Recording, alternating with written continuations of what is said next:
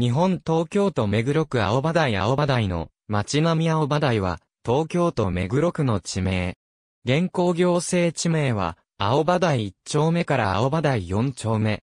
郵便番号は153-0042。目黒区の北部に位置する。全域が北部地区、神狩住区に属する。町域の北東部から東部はおおむね旧山手通りに接し、これを境に渋谷区上泉町、南平台町、八山町、猿楽町にそれぞれ接する。南部は、目黒区上目黒に接する。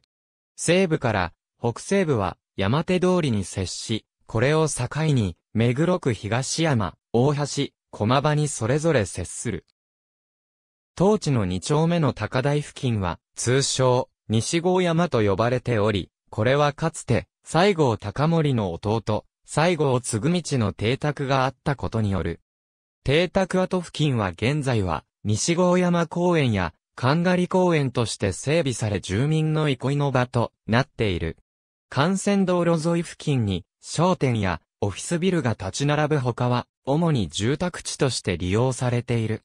2021年4月1日現在の世帯数と人口は以下の通りである。区立小中学校に通う場合、学区は以下の通りとなる。住宅地の地価は2021年1月1日の工事地価によれば、青葉台3の5の44の地点で224万円、平方メートルとなっている。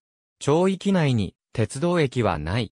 北部では、京王井の頭線、上泉駅が、西部では東急田園都市線、池尻大橋駅が、南部では、東急東横線、大観山駅及び、東急東横線、東京メトロ日比谷線の中目黒駅がそれぞれ利用、可能である。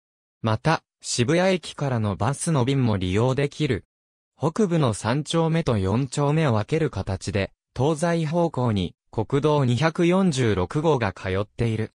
他に、4丁目内には、東京都道423号渋谷共同線が、1丁目内には、西郷山通りがそれぞれ通っている。また、西部から南東方向に目黒川が流れている。町域内の道路では、カンガリ立橋などが交通の要衝となっている。ありがとうございます。